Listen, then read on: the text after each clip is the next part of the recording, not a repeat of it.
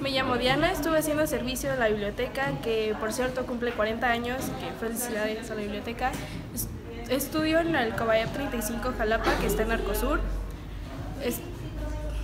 Eh, aprendí varias cosas aquí en la biblioteca cuando estuve haciendo servicio, tanto como hacer el acomodo de los acervos, estar en recepción, para cómo recibir al usuario, registrarlo para que puedan ingresar.